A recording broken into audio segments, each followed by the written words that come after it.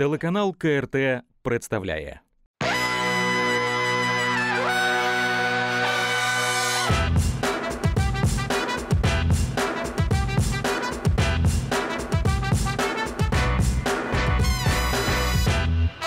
Власти Германии закрыли в психбольнице адвоката Биата Баннер за то, что она опубликовала в соцсетях призыв выйти на демонстрацию против карантина. Уберите от экрана Грету Тумберг. Короче, как пела группа ХЗ, нам подмога не пришла, подкрепление не прислали. Я хочу начать списывать часть нашего долга Китаю. То есть этот ПОЦ предлагает штатам не платить Пекину по долговым казначейским обязательствам. Честно говоря, многое сегодня не только делается, но и говорится впервые в истории. Весь текст статьи, начиная от оценки нефтяной сделки и до описания перспектив российско-саудовского сотрудничества, буквально отдает сладостью Рахат Лукума. Хотя на зрелище банкир, управляющий нефтяной скважиной, хотелось бы посмотреть. Ибо представить это можно только в двух жанрах – комедии либо хоррора. Добрый день, дорогие друзья! В эфире очередная программа «Международная панорама» и ее ведущий Дмитрий Джангиров. По-прежнему главным вопросом мировой повестки дня является коронавирус, которым в мире заболело уже почти 2 миллиона человек. Лидируют здесь Соединенные Штаты, где более 600 тысяч заболевших, и президент Дональд Трамп ввел режим стихийного бедствия по всей территории страны. Разумеется, масштаб американского бедствия на фоне низкой эффективности тамошней хваленой медицины нуждается в каких-то пояснениях.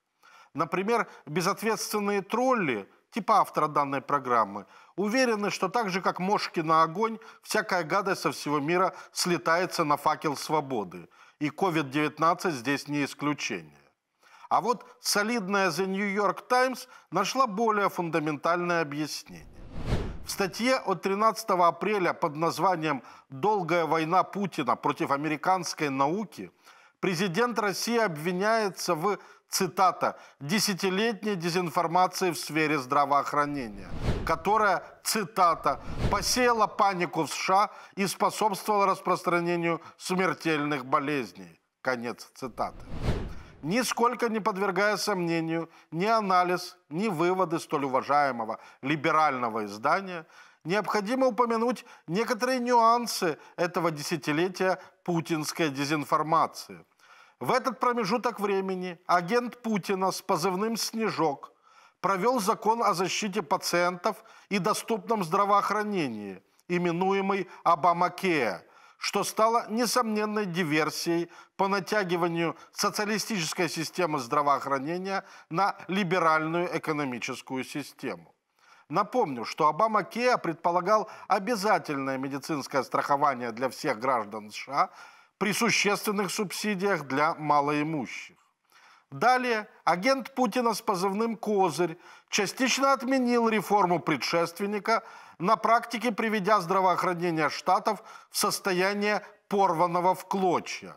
Ну а тут, как мы видим, на сцену вышел третий агент с позывным COVID-19. Но вернемся к агенту номер два, он же «Козырь». По данным американского канала ABC, разведка США еще в ноябре – в докладе для президента предупреждала, что распространяющаяся в Ухане инфекция может быть опасной для людей. Доклад был основан на данных Национального центра медицинской разведки. Разумеется, вся информация от неназванных источников телеканала, которые утверждают, что якобы в распоряжении разведки были перехваченные сообщения и спутниковые снимки. Не знаю насколько корректно критически воспринимать информацию от светочей независимой журналистики, но общепризнанным фактом является появление так называемого нулевого пациента в Ухане в середине ноября. Причем выявлен он был, разумеется, постфактум. Но здесь, как в классическом анекдоте, осадочек остался. Мол, Трампу сообщили вовремя, а он не отреагировал. Впрочем, что тут удивительного – агент Козырь и не должен был реагировать. Среди вала домыслов и конспирологии сошлюсь на материал из британской Daily Mail, который утверждает, что правительство США выдало грант на сумму 3,7 миллиона долларов именно той лаборатории в Ухане, которая находится в центре подозрений по утечке коронавируса. Цитата. Китайская лаборатория, которая находится в центре пристального внимания в связи с возможной утечкой коронавируса, использует правительственные деньги США для проведения исследований на летучих мышах из пещер, которые, по мнению ученых, являются первичным источником смертельной вспышки. Конец цитаты. Британские джентльмены клавиатуры сочли подозрительным тот факт, что летучих мышей отлавливали в тысячах миль от Уханя – в пещерах провинции Юньнань. Так что в целом в американском политическом пространстве преобладает версия о вине Пекина в гибели американцев от COVID-19. В крайней форме эту точку зрения высказал сенатор-республиканец Линдси Грэм, дорвавшись до прямого эфира на канале Fox News. Цитата. «Первое, что я хочу сделать, это официально задокументировать, что мы, Сенат США, не виним Трампа, мы виним Китай. Правительство Китая в ответе за 16 тысяч смертей американцев и за 17-миллионную безработицу в Америке. Пандемия началась из-за правительства Китая и его поведения. Это уже третья болезнь из Китая.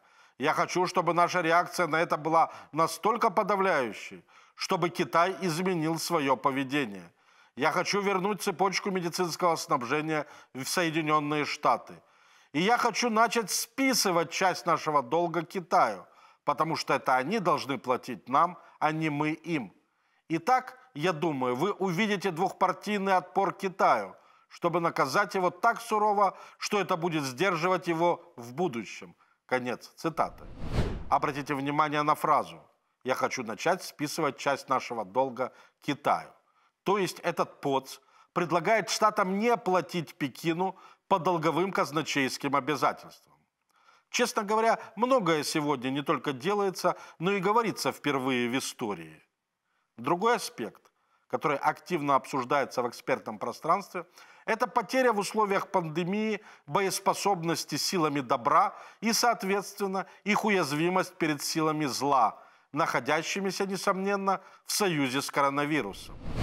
Так, крупнейшее информационное агентство Турции «Анадолу», созданное ровно сто лет назад Мустафой Кемалем Ататюрком, несколько меланхолично и с восточной невозмутимостью перечисляет отмененные либо урезанные учения НАТО. Впрочем, как мы прекрасно понимаем, Анкара сегодня не главный активист Североатлантического альянса. Честно говоря, перечислить несостоявшиеся учения хочется исключительно из эстетических соображений, отдавая должное креативности авторов их названий. Итак, в числе первых были урезаны учения «Защитник Европы-2020», в рамках которых отрабатывалась переброска военных и оборудования из США в Европу. США объявили, что переброска будет приостановлена, а часть учений будет свернута. Короче, как пела группа ХЗ, нам подмога не пришла, подкрепления не прислали. Кроме того, прекратились учения «Холодный ответ-2020», которые начались 9 марта в Норвегии. Учения у российских границ предусматривали участие около 15 тысяч военнослужащих НАТО из 9 стран-членов, в том числе Соединенных Штатов, и отработку навыков в сложных условиях и холодном климате. Понятно, что без участия морских пехотинцев США ответ Норвегии на агрессию может быть фригидным, но никак не холодным. Из-за COVID-19 отменены также некоторые другие учения, которые планировалось провести при участии союзников по НАТО, такие как динамический фронт, удар сабли, быстрый ответ. А тем временем первую потерю в войне с COVID-19 понес экипаж американского авианосца Теодор Рузвельт, где из почти 5000 человек экипажа на сегодня заражены коронавирусом почти 600 моряков. Всего же заболевшие имеются на четырех американских авианосцах. Это подвигло японский деловой портал Japan Business Press на тревожную военно-эпидемиологическую аналитику под заголовком Из-за распространения в военно-морском флоте США пандемии коронавируса Китай повысил свою военную активность. И с характерным подзаголовком «Китай и Россия – известные мастера грабежа во время пожаров». Скажу сразу, что грабить во время пожара находится на почетном пятом месте из 36 классических китайских стратегем. Она предусматривает необходимость активных действий, когда противник по каким-либо причинам оказался в затруднительном положении. Впрочем, великий полководец Сунь Цзы в столь же классическом трактате «Искусство войны» говорит о том же, цитата, «когда враг повержен в хаос, пришло время торжествовать над ним». В упомянутой статье генерал-майор в отставке Такаси Фукуяма предупреждает, что в условиях ослабления боеспособности ВМС США Китай может решиться на военную операцию в районе спорного архипелага Сенкаку. Ведь, по мнению отставника, авианосцы могут оказаться небоеспособными при выходе из строя всего сотни членов экипажа. При этом он ссылается на инцидент 2 апреля – когда китайское судно береговой охраны потопило вьетнамскую рыбопромысловую шхуну в другой спорной части Южно-Китайского моря. Впрочем, американские авианосцы не единственные, где обнаружена вспышка коронавируса. В числе пострадавших моряки французского авианосца «Шарль де Голь», Однако здесь явно имеется привкус французского детектива, который лаконично сформулировала испанская «Эль Мунда» прямо в заголовке – как попал коронавирус на французский авианосец, который не причаливал к суше с 15 марта. Цитата. Авианосец Шарль де Голь возвращается на свою базу в Тулоне раньше срока, после того, как на его борту были зарегистрированы порядка 40 случаев заражения коронавирусом. Бригада военных врачей была доставлена на флагманское судно ВМС Франции для оценки ситуации и установления путей попадания вируса. У нас нет объяснений, заявили военные. Последний раз Шарль де Голь швартовался в Бресте на западной оконечности Британии 15 марта. С тех пор никто на борт авианосца не поднимался. Конец цитаты. К сожалению, у французов все еще не сформировался четкий рефлекс, кто виноват в ситуации, когда объяснений нет. К слову сказать, вопрос корректной статистики заболеваемости и смертности от коронавируса – проблема не только постсоветского пространства. Как передает телеканал CNN, согласно новым данным Управления национальной статистики Великобритании, число летальных исходов в результате заражения коронавирусом COVID-19 в стране значительно выше цифр, которые указывает британское правительство в своих ежедневных обновлениях. Дело в том, что статистика Минздрава Британии включает только людей, которые умерли после осложнения от коронавируса в больницах, оставляя за рамками подсчета граждан, скончавшихся в домах престарелых или других местах. Кстати, неплохая свежая идея для губернатора Николаевской области, у которого не было ни одного заболевшего COVID-19 на фоне увеличившейся в 18 раз заболеваемости от воспаления легких. В Британии на начало апреля разница между двумя системами подсчета составила 2040 умерших, или более 50%. Правда, сегодня этот разрыв составляет примерно 15%. Как справедливо в данном конкретном случае указывает CNN, такая путаница означает, что сложно сделать прямое сравнение между кривой смертности от коронавируса в Великобритании – и аналогичными кривыми в других европейских странах. Эти несоответствия подчеркивают, цитата, «мрачность зарегистрированных показателей смертности в Великобритании во время пандемии коронавируса». Конец цитаты. Которые, возможно, по мнению журналистов CNN, сознательно занижаются властями. Цитата. Истинные цифры могут быть значительно выше, чем те, которые ежедневно сообщают британские министры. Конец цитаты. 9 апреля в Ле Фигаро вышел материал «Саудовский двор под ударом коронавируса». Со ссылкой на The New York Times в материале приводится информация о 150 принцах, заразившихся коронавирусом. Так принц Фейсал Бандар ибн Абдул-Азиз – губернатор Эр-Риада и племянник короля Салмана, оказался в отделении интенсивной терапии. Я лично знаю принцессу, которая сейчас лежит в больнице, подтверждает ближневосточный бизнесмен, который регулярно бывает в Саудовской Аравии. Мне известно о болезнях других принцев. Мне часто звонят, чтобы предупредить о распространении эпидемии. Источник Фигаро в Королевском дворце сообщает, цитата, «Вирусом заразились более 150 принцев, в том числе высокопоставленные.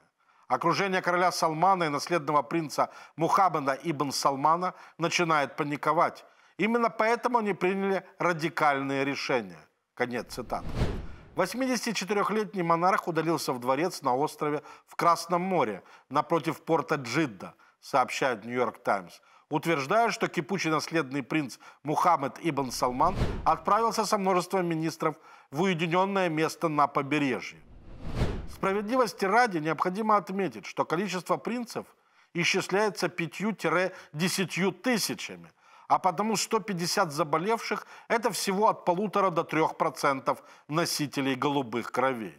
Ну а что же науке достоверно известно о коронавирусе или COVID-19 на сегодняшний день? Это мы обсудим с Волох Аллой Петровной, заведующей кафедрой детских инфекционных болезней и детской иммунологии, вице-президентом Всеукраинской ассоциации детской иммунологии. Добрый вечер, Алла Петровна. Добрый вечер. А, первый вопрос, наверное, самый важный. Вот наблюдая за графиками, за этими Э, кривыми заболеваемости, смертности, ну и, слава богу, э, как выздоравливают люди. Можем ли мы говорить, что в целом в мире наступает перелом, ну и скоро и у нас в Украине мы выйдем на максимум и начнется спад заболевания? А, наблюдая за графиками, в мире а, действительно разная ситуация. А, по многим странам мы можем видеть уже перелом, снижение случаев заболевания, снижение случаев смертности. Даже такие страны с высоким уровнем заболеваемости и смертности, как Италия, Испания, хотя во Франции еще вы видите достаточно высокий уровень смертности за последние сутки. Очень высокий уровень смертности и заболеваемости остается в Соединенных Штатах Америки. Поэтому, наверное, в целом мы не можем так еще говорить, потому что не во всех странах такая отмечается тенденция говорят о вероятности осеннего возврата, повтора, я не знаю, как это правильно называется, COVID-19. Скажите, ну, это слухи просто, больше не будет этих ужасов? Я думаю, что не исключено действительно продолжение заболеваемости. Может, будет это не волна, может, будет просто какое-то, скажем так, вот, ну, постоянный уровень какой-то заболеваемости. Но, наверное, это будет продолжаться еще учитывая достаточно большое количество неиммунного населения. А ведь это новый вирус. И иммунитет имеют только те, которые переболели. И даже у некоторых есть сомнения, что те, которые переболели, не всегда формируют хороший иммунитет. Но, наверное, это все-таки небольшое количество случаев людей, которые могут не, форми- не формировать иммунитет. Наверное, такое исключить нельзя. Сейчас этот процесс изучается, исследуется. Наверное, мы будем иметь в ближайшее время более точную информацию. Ну, а вот объясните главный вопрос, который люди задают. А почему столько времени уходит на создание вакцины? А, в отношении вакцины следует отметить то, что вакцины ведь уже созданы. А, и эта информация есть, что в некоторых странах уже есть вакцины. Но дело в том, что длительное время уходит на а, проведение испытаний этой вакцины. А, то есть ее сначала проверяют на животных. А даже если э, этот этап, скажем так, упустить, то все равно нужно доста- нужен достаточно большой период времени, чтобы убедиться, что она работает. То есть нужно исследовать иммунный ответ у людей, как они отвечают на эту вакцину, для того, чтобы быть уверенным, что она действительно хорошо работает и защищает большое количество привитых. Только в таком случае она может быть использована уже для массового производства. Потому что если эти данные не проверить, и вакцина будет непроверенная, э, она не может быть использована для, э, скажем так, широко для вакцинации. То есть сейчас, видите, уже несколько стран дают информацию, что они создали вакцины, но, э, но начался уже период испытаний, и он занимает достаточно большое количество времени, чтобы убедиться, что эти вакцины работают. И вот последний вопрос. Ваш прогноз – COVID-19 – это вот он один раз пройдет, и мы забудем, или он превратится в нечто вроде гриппа сезонного, которого уже имея вакцину, это будет ну, не так страшно, как сейчас бывает. Там грипп сильнее, слабее, вот такой же будет каждую там весну, так сказать, и приходить к нам это заболевание. Ну, наверное, если будет вакцина, она, наверное, будет разработана все-таки не одна вакцина. И если эти вакцины будут широко применяться, а, то мы сможем создать хорошую иммунную прослойку. И если будет создан коллективный иммунитет, то тогда заболевание может уйти даже полностью. Но, наверное, оно не быстро уйдет, потому что для того, чтобы охватить большое количество людей вакцинации, тоже нужен, нужно достаточное количество времени. Но мне кажется, что если будет хороший охват вакцинации, то все-таки не, не так уж долго будет этот вирус циркулировать, но какое-то время он еще будет циркулировать. Ведь видите, по прогнозам, то, что я смотрела, прогнозы гарвардских ученых, а, это может циркулировать даже до 2022 года. А, а если за это время действительно будут получены вакцины, их будет достаточное количество, то, наверное, мы сможем разорвать этот круг циркуляции вируса. И тогда уточняю, сказал, что последний вопрос, но вот уточняющий к последнему вопросу. А, вот то, что сейчас говорят, что есть три штамма COVID-19, для каждого из них, как в случае гриппа, нужна будет своя вакцина, отличающаяся? Или, может быть, одна вакцина на все три штамма? А, я думаю, что те вакцины, которые разработаны, они должны работать против всех трех штаммов. То есть должны быть выбраны все-таки такие белки, которые а, а, едины у этих трех штаммов. И у этих трех штаммов еще не очень большие различия. Очевидно, все-таки по этим белкам. Я думаю, что это учитывалась информация о разных вариантах вирусов, с разных регионов мира, когда разрабатывали вакцину и брали, скажем так, эти компоненты вируса для того, чтобы ее эм, разработать. То есть э, я так думаю, что это будет вакцина, которая будет работать против трех штаммов. Ну, как, как говорится, дай бог, чтобы так оно да. и было, чтобы это было как можно быстрее. Благодарю вас, Алла Петровна. Так как первая часть программы завершилась упоминанием саудовской королевской семьи, то не будет ничего удивительного в том, что вторую часть мы начнем с тех же персонажей, хотя тема и переключается с коронавируса на нефтяное соглашение в рамках ОПЕК, ОПЕК+, и Большой двадцатки с привлечением ряда крупных нефтедобывающих государств – не входящих в эти объединения. Министр энергетики Саудовской Аравии принц Абдель Азиз бен Салман Аль-Сауд в интервью профильному профессиональному изданию Energy Intelligence говоря о разногласиях с Россией, весьма неожиданно для почтенной публики назвал отношения с Москвой семейными. Цитата. «Семья остается семьей, и в семье иногда возникают споры но они не выводят их на улицу. По его словам, благодаря этим семейным отношениям удалось в конце концов успешно разобраться с разногласиями. Цитата. «Если бы не серьезное сотрудничество с нашими друзьями в России, эта сделка не состоялась бы». Конец цитаты. Разумеется, от цветистых восточных оборотов сложно ожидать даже малой толики искренности. Однако Параллельно с этим интервью в одном из ключевых саудовских изданий «Arab News» вышел материал гендиректора Российского фонда прямых инвестиций Кирилла Дмитриева под названием «Российско-саудовские отношения окрепнут после пандемии». Весь текст статьи, начиная от оценки нефтяной сделки и до описания перспектив российско-саудовского сотрудничества, буквально отдает сладостью рахат лукума. Однако и в первом, и во втором случае – Дело не в самих текстах, а в обмене вполне понятными сигналами. И я, пользуясь привилегией автора, подтвержу свою мысль, высказанную месяц назад, в самом начале ценовой войны на нефтяном рынке. Главной целью Москвы и Эр-Риада была американская сланцевая нефть. Разумеется, оба главных инициатора этой войны заплатили очень высокую цену, судя по всему, неожиданно высокую для себя – Однако по итогу положение сланцевиков на сегодня ничем не лучше положения Берлина 75 лет назад.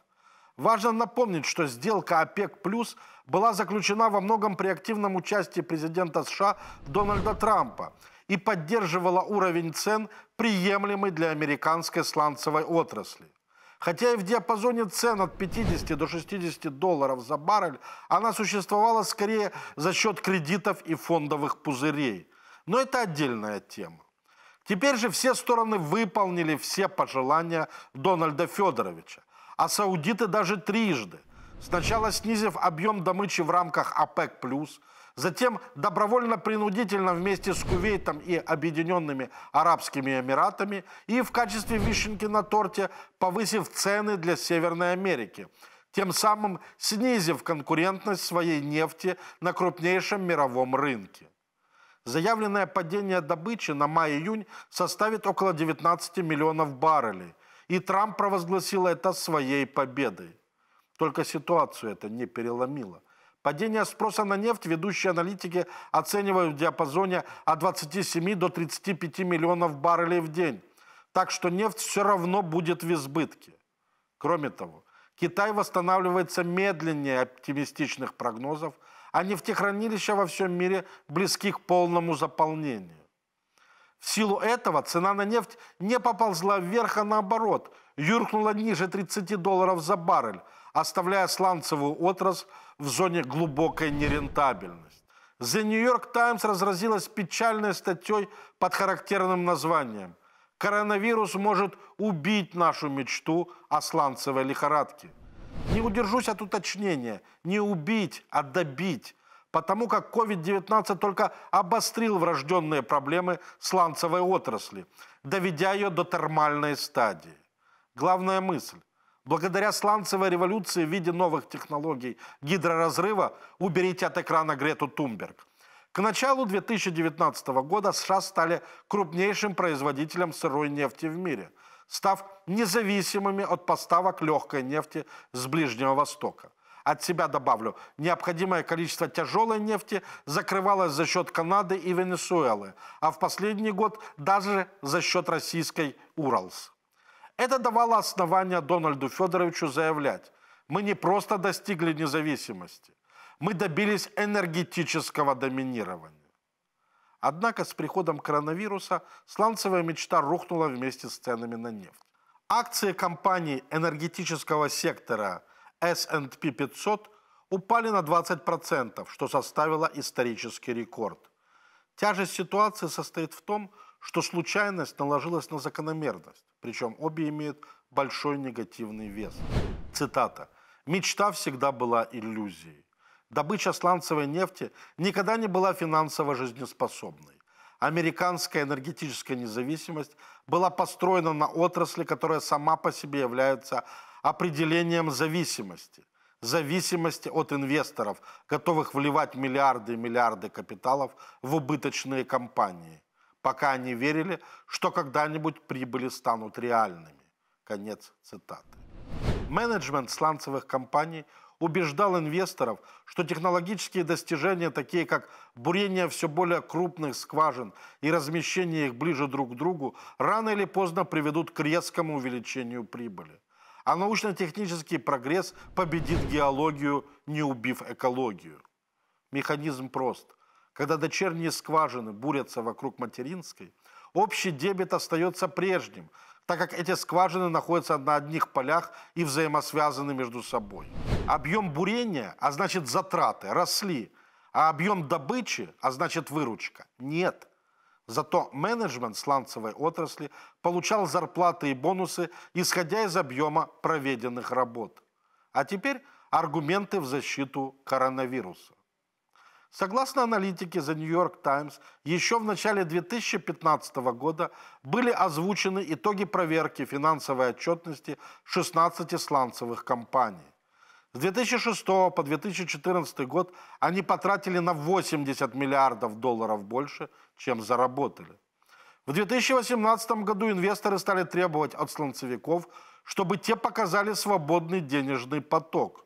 Но крайне низкие процентные ставки гнали фондовых игроков за сланцевыми долговыми обязательствами в надежде на прибыль. За 10 лет сланцевая индустрия создала колоссальный, более 400 миллиардов долларов долговой рынок.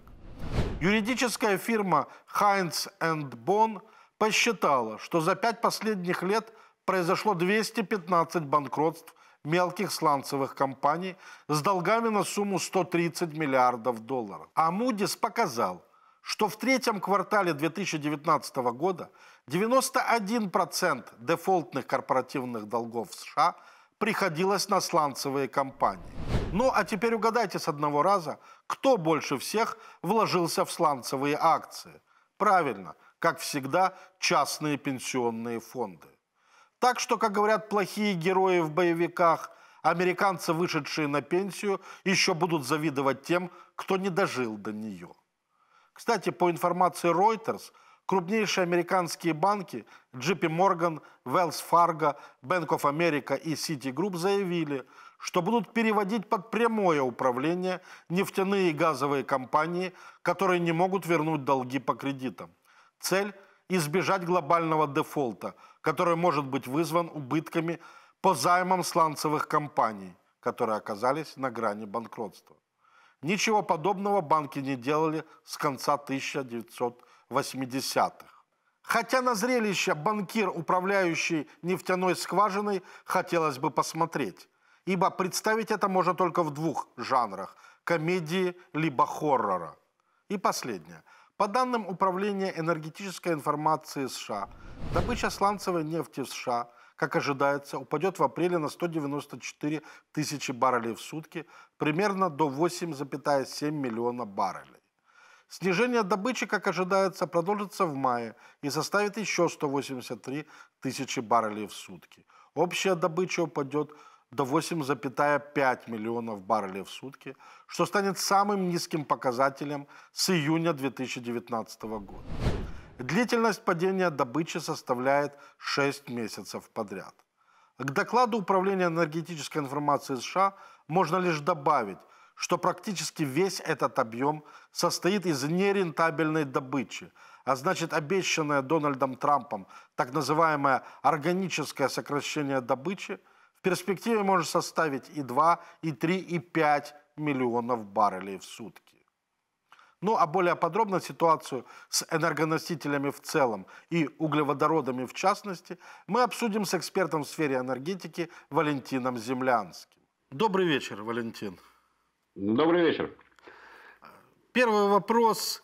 Как вы оцениваете судьбу сланцевой нефти? Сама бизнес-модель добычи сланцевой нефти, она была ошибочной и убыточной и приводила к убыткам и в те периоды еще до кризисные, а, конечно, сильнее всего это отразилось вот уже сейчас в момент кризиса. Если цены будут сохраняться на достаточно низком уровне, я боюсь, что перспективы весьма печальны для американской нефтедобычи, а, соответственно, политически это будет отражаться и на рейтингах Трампа, Жиженный газ, каким образом цена на него будет привязана к цене на нефть? Или наоборот отвязана от этой цены? Мне кажется, опять же таки здесь следует говорить об общих тенденциях, общемировых тенденциях, которые будут влиять. Что касается там, например, европейского континента, да, то это будет касаться уже состояния европейской экономики, состояния европейского рынка, соответственно, отсюда будет формирование цены. Потому что для американского э, сжиженного газа, скажем, премиальным рынком всегда были страны Азиатско-Тихоокеанского региона. Европа стояла там, по-моему, даже на третьем месте.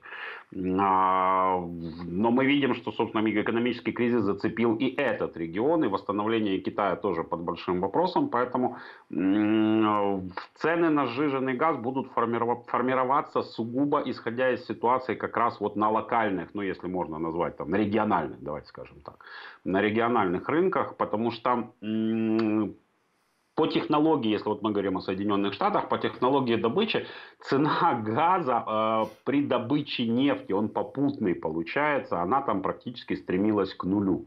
То есть себестоимость добычи с газа, который впоследствии мы называем американским сжиженным, она там весьма низкая. Потому что основной упор и основной акцент делался как раз на нефти, и это было приятным, э, приятным дополнением. Э, но поскольку, если проанализировать последние несколько месяцев, я думаю, что цены будут колебаться вот в пределах 100 долларов за тысячу кубических метров, что явно делает нерентабельным просто саму доставку американского сжиженного газа в Европу. Я понимаю, что там по политическим, под политическим давлением, по политическим причинам какой-то объем будет выкупаться, то есть какие-то договоренности будут выполняться, но этот газ будет явно дороже. того газа, который, например, Европа получает из Российской Федерации, который торгуется на европейских а, биржевых газовых площадках. Понятно. А, промежуточный вопрос. А судьба второго вида сжиженного газа, СУГ, что с ним будет происходить? Ну, это больше автомобильный рынок. Опять же, ну, вот смотрите, о каком бы сейчас сырьевом сегменте мы с вами не говорили, любой этот сырьевой сегмент, он будет привязан к общим мировым тенденциям. То есть, если будет сохраняться, ну, а я думаю, она будет сохраняться, как минимум в ближайшие полгода, тенденция падения а, цен на сырьевых рынках, соответственно, по всем видам энергоносителей мы будем наблюдать точно такую же тенденцию. Тогда можно предположить, что уголь будет в пролете, извиняюсь за жаргон. А вот парадокс ситуации, что Уголь оказал свои ценовые позиции сохранил.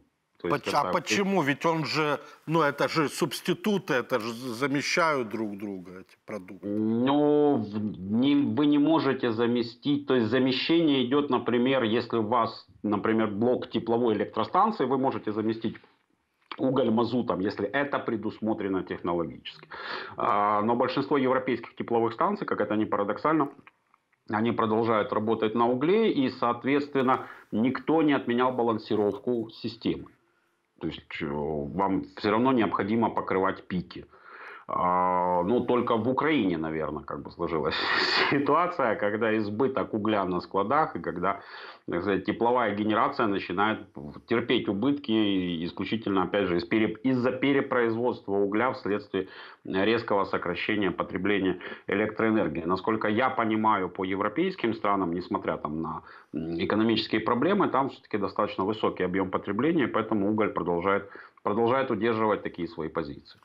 Вы знаете, Дмитрий Георгиевич, я боюсь, что вообще в целом вот этот, э, как это, карантина, карантиномания, да, как, как угодно можно назвать, всемирная, она вообще существенным образом изменит наше представление о мировой экономике и само функционирование мировой экономики. То есть, если там, последние там, 2-3 десятилетия мы шли в парадигме глобализации, максимальной глобализации, то есть сейчас как раз вот мы будем наблюдать совершенно обратный процесс, потому что мы увидели, как большинство там, крупнейших промышленных гигантов э, испытали достаточно серьезные трудности вследствие а, логистических проблем, поскольку производство у них было а, разбросано по, по, по всему миру. И вот я думаю, что с точки зрения ценообразования на энергоносители будет происходить где-то такая же история. То есть каждая из стран начнет ориентироваться на более экономически выгодные ресурсы и, соответственно, как бы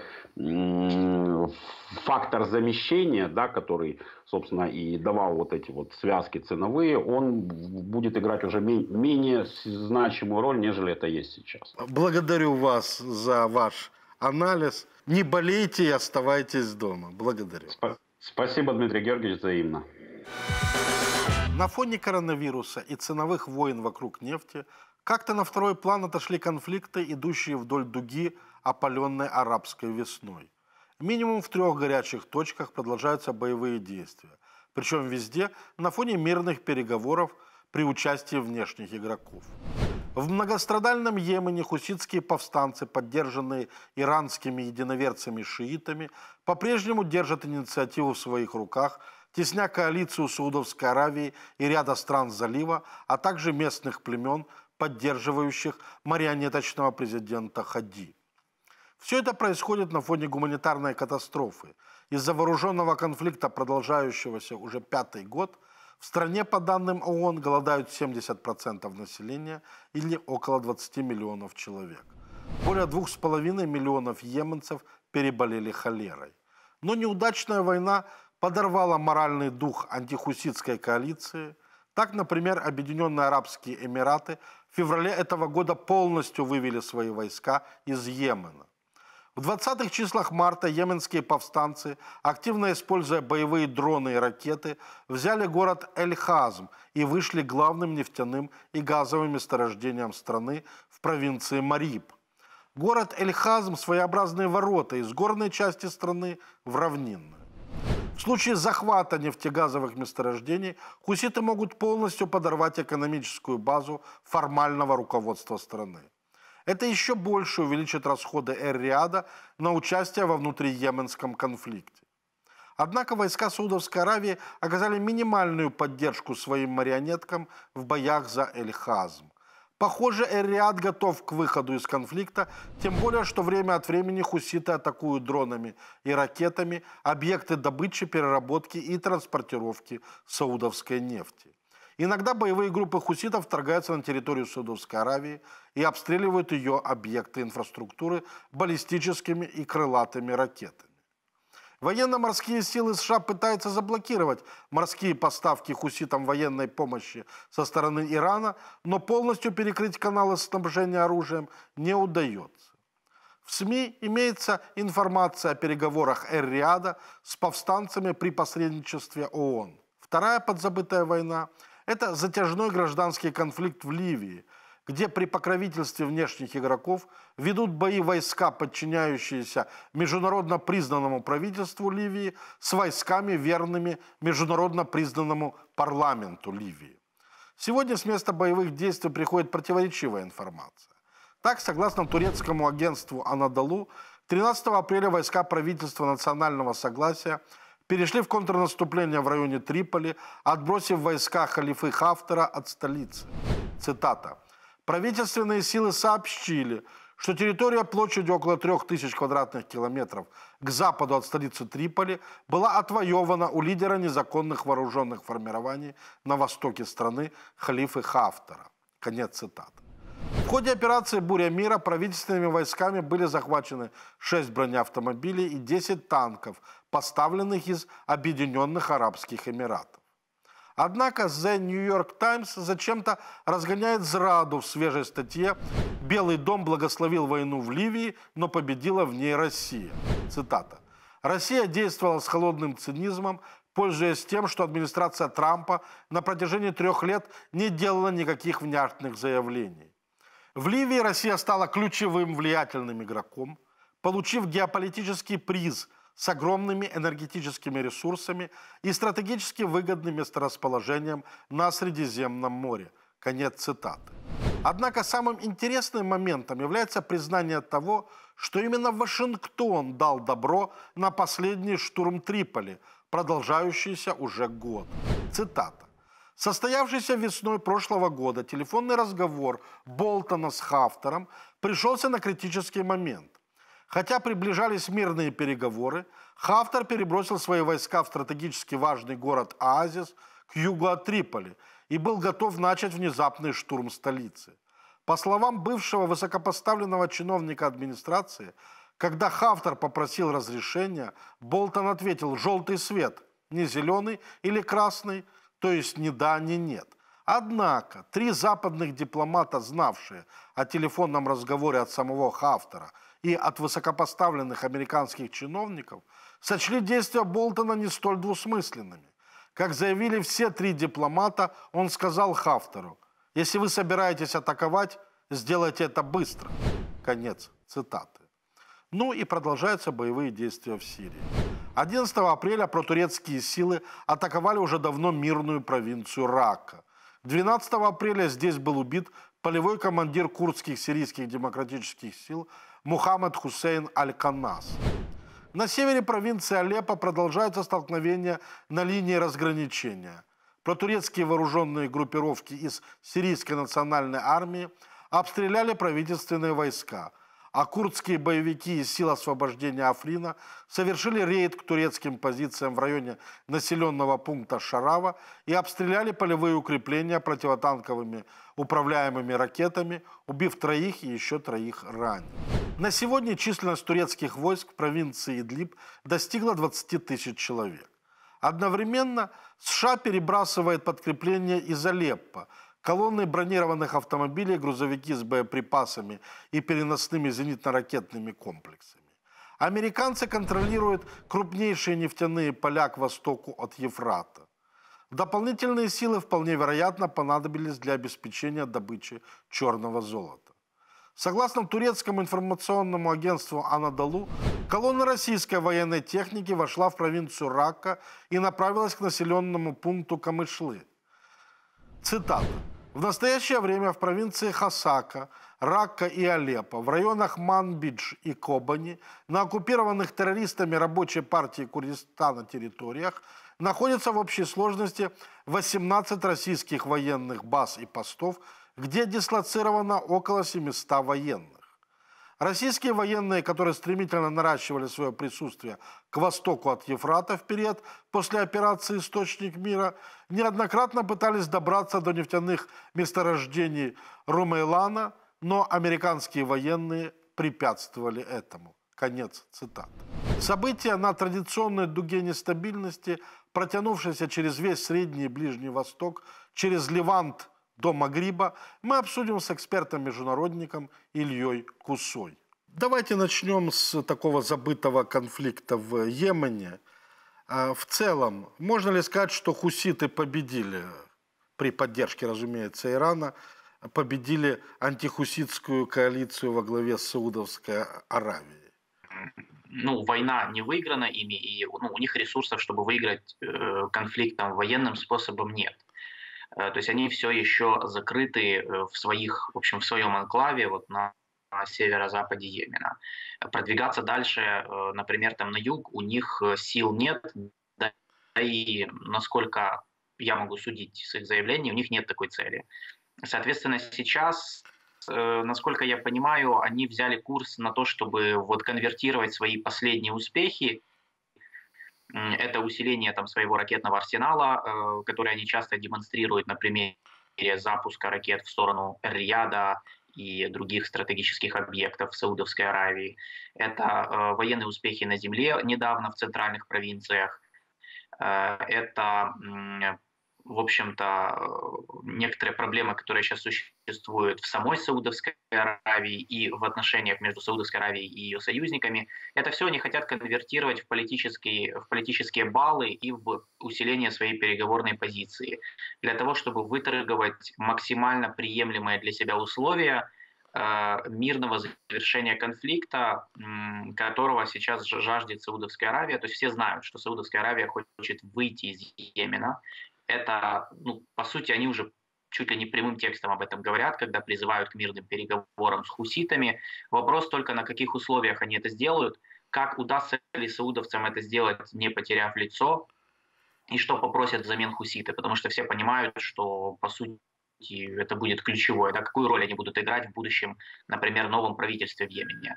Э, так что можно говорить не о том, что они победили, а можно говорить о том, что сейчас инициатива в руках хуситов. Это правда. И они сейчас имеют шанс воспользоваться вот этой ситуацией в свою пользу. А вот воспользуются или нет, и это уже, вот, конечно, другой вопрос. По Ливии вопрос.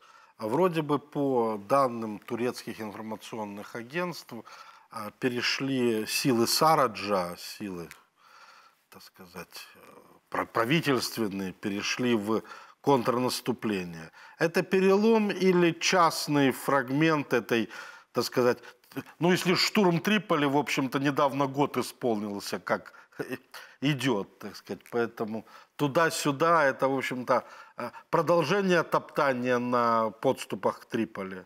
Э, ну, в принципе, я я бы не назвал это большим переломом, потому что ну, мы видели такие маневры э, за последний год, но это существенное событие, конечно. Э, таким правительство национального согласия Триполи, э, силы которого э, совершили прорыв, то есть, по сути, они заняли большую часть прибережной э, зоны. Это такая ответка э, генералу Хафтару за его э, взятие Сирта в конце прошлого года.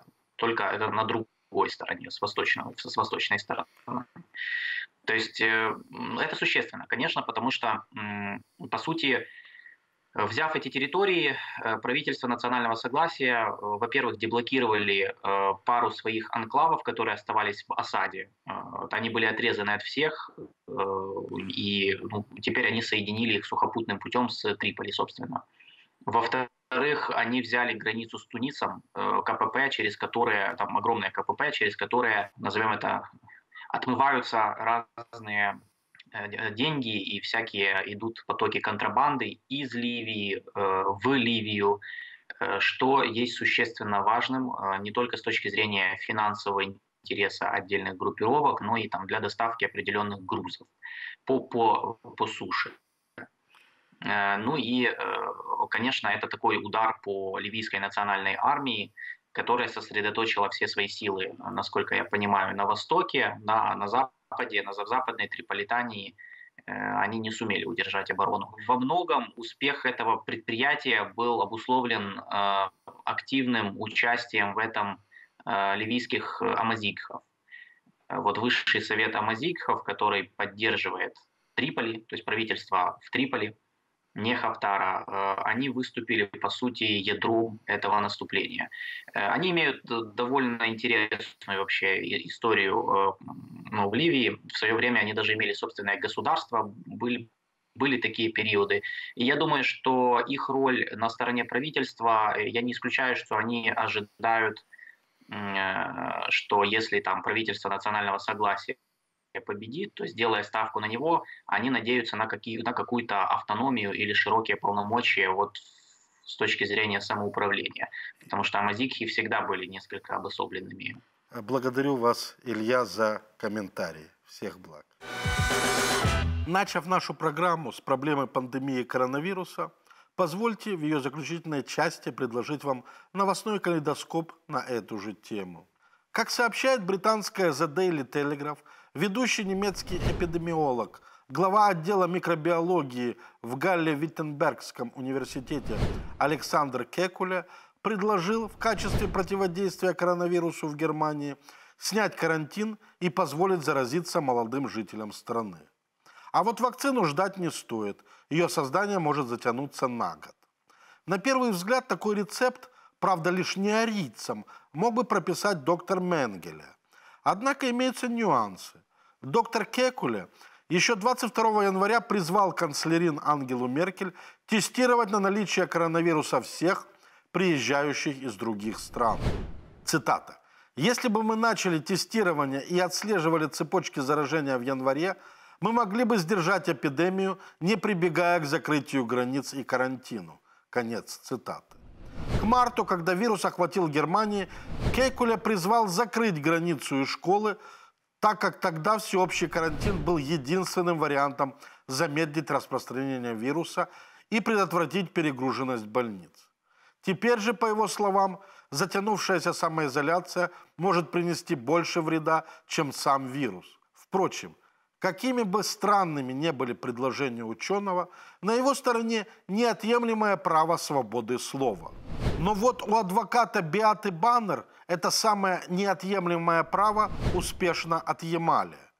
Власти Германии закрыли в психбольнице адвоката Биата Баннер за то, что она опубликовала в соцсетях призыв выйти на демонстрацию против карантина. В эту историю отечественному либералу трудно было бы поверить, если бы она не была бы обнародована в местной газете. Инцидент произошел в городе Гейдельберг. Местный юрист, специализирующийся на медицинском праве, Биата Баннер обратилась в Конституционный суд с иском о незаконности ущемления прав граждан во время карантина, вызванного коронавирусной инфекцией. Также адвокатесса написала в социальной сети воззвание гражданам, ее поддерживающим, выйти на демонстрацию в Страстную неделю. Реакция правоохранительных органов была неожиданно быстрой и жесткой. Полиция арестовала женщину возле ее дома и в наручниках доставила в психиатрическую клинику для депрессивных пациентов.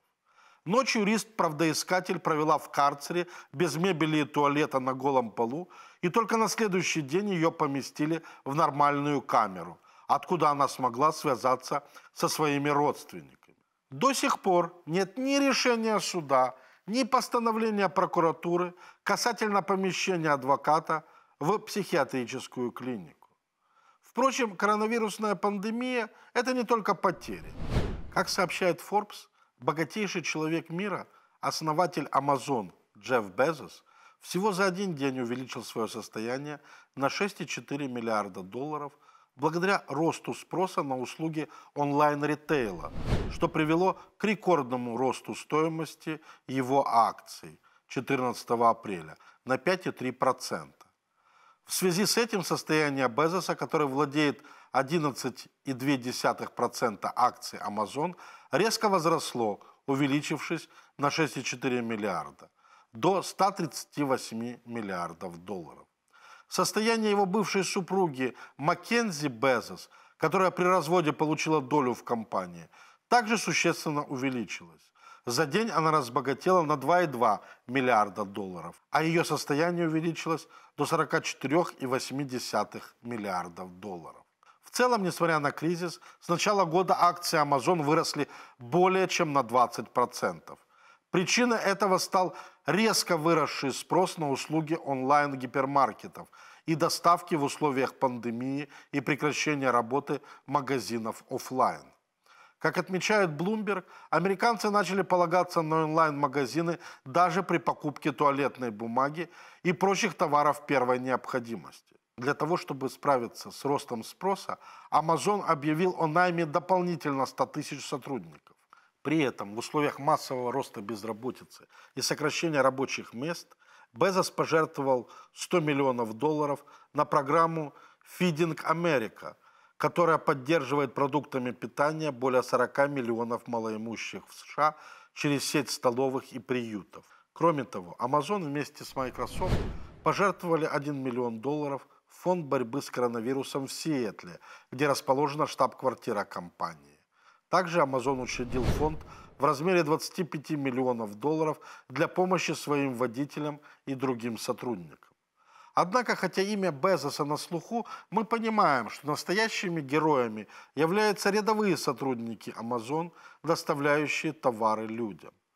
Французская «Ле Фигаро» феномену реальных героев, противостоящих пандемии, посвятила статью «Реванш желтых жилетов», карантин вывел на первый план людей из низов. Эксперты в области социологии Жером Фурке и Клоя Морен указывают, что еще вчера незаметные винтики в экономике Франции из-за введенного в стране режима изоляции стали героями, тянущими на себе страну. Цитата. Хотя извлекать уроки из пандемии коронавируса еще слишком рано – можно сказать, что она обнажила разительный контраст между общественной пользой определенных профессий и их оплатой и признанием. Водители грузовиков, доставщики, кассиры, кладовщики и водители погрузчиков, сиделки и медсестры, сборщики мусора – все они внезапно стали героями, хотя еще вчера были невидимыми и часто презираемыми винтиками в экономике Франции. Конец цитаты. Как отмечают специалисты, наиболее востребованы сегодня представители преимущественно женских профессий. Помощники по хозяйству, 97% из которых женщины. Персонал по уходу за больными, 90% женщин. Медсестры и акушерки, 87% женщин. Продавцы, 73,5% женщин. По словам авторов статьи, французы, оказавшиеся на передовой в момент кризиса, на первый взгляд ассоциируются с желтыми жилетами. В первую очередь, благодаря фигурам, ставшим символами движения, таким как водитель-механик Максим Николь, помощница медсестры Ингрид Левовасер или дальнобойщик Эрик Друэ. Действительно, социологический профиль желтых жилетов – и представителей некоторых наиболее востребованных сегодня профессий во многом совпадает. Так рабочие, самозанятые, низкоквалифицированные работники были как среди вчерашних участников протестных акций, так и среди сегодняшних фронтовиков. С другой стороны, есть представители профессий, не участвовавших в движении желтых жилетов, но вышедших сегодня на первый план. Речь идет о медицинских работниках, госслужащих, а также иностранных рабочих и иммигрантах, в особенности работающих в сфере доставки, безопасности и уборки помещений. В обществе, где достижение оценивается исходя из наличия диплома, классовая борьба все больше принимает форму противостояния между теми, кого называют детьми с первой парты, и детьми с задней парты. Карантинная экономика подчеркнуть важность роли которую играют в нашем обществе низкообразованные работники, в какой-то степени реабилитируют детей с задней парты, отмечают авторы статьи. Символом борьбы людей из низов с элитой стал для многих желтых жилетов и мятежный марсельский микробиолог Дидье Рауль, ведущие борьбу с официальной позицией правительства в борьбе с пандемией коронавируса. Его борьба видится многим из желтых жилетов отражением собственной, а также своего рода реваншем здравого смысла, который люди из низов взяли над элитой. Цитата. Будем надеяться, что этот период станет чем-то большим, нежели 15 минут славы, и компании смогут извлечь урок из сегодняшнего положения дел в вопросах общественного диалога вознаграждения, как символического, так и финансового. Конец цитаты. На этом наша программа подошла к концу. Международная панорама и ее ведущий Дмитрий Джангиров прощаются с вами до следующей недели. Оставайтесь дома – Берегите себя. До встречи.